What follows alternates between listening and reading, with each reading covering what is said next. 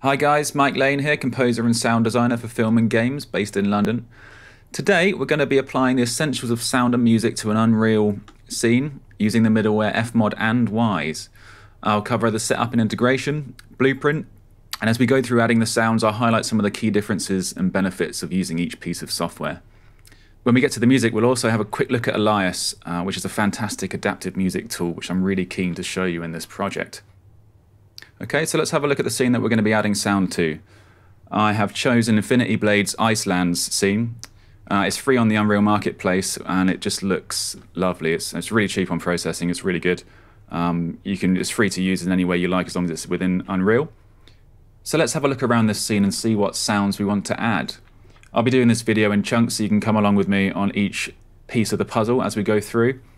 Uh, the first thing we're going to add is footsteps. As you can see, there's a stone surface, so we can add footsteps to it.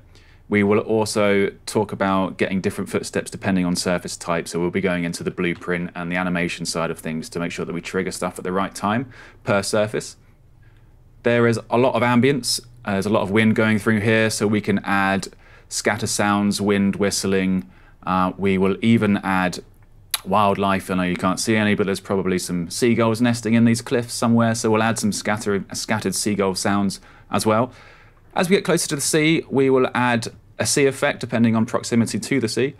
Um, that will also be bundled into the atmosphere and ambience video.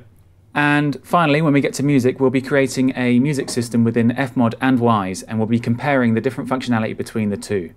The music we create will be fitting for this scene, and it won't be bespoke for each piece of software. That'll be in a later project. This video series will be aimed at beginners. I'm hoping off the back of this I'll be able to decide which is my favourite and which one I would like to focus on in the future. And hopefully it will have the same effect for anybody else who's watching who's in the same position as me and is looking to choose between Fmod or Wwise or directly into the engine itself perhaps. Bear in mind what I'm going to show you could be bad habits that I've picked up. So if anybody's got a more efficient way to do any of this, please let me know and leave a comment. I'll be very grateful indeed. So that's it in a nutshell. We intend to implement all of the sound and music appropriate for this scene. I will be doing it first in Fmod and then I will compare it and do it in Wwise. Uh, and like I say, right at the end, we'll be looking at Elias.